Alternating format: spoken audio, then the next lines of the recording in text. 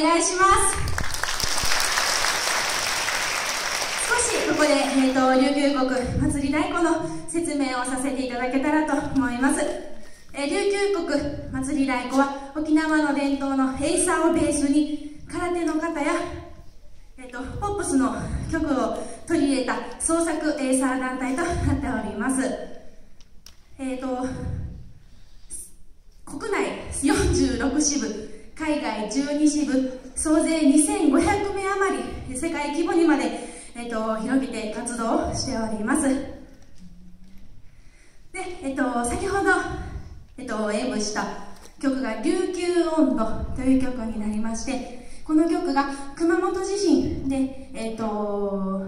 えー、熊本地震の後にみんなに元気になってもらおうと,、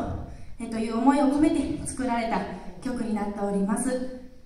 えーと、どこかで見たことあるような振り付けが、えーと、ちょこちょこ間で、えー、とあるんですけれども皆さんで、えー、と楽しんでいただけたらという振り付けになっておりますのでまたどこかで琉球国祭り太鼓を見かけることがありましたら一緒に踊っていただけたらと思います。ありがとうござい。ます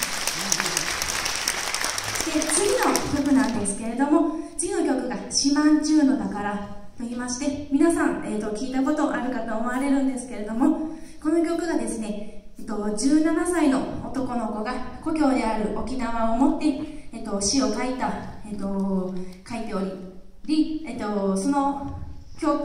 詩に共感したビギンがですね、えっと、曲をつけたというふうに言われております。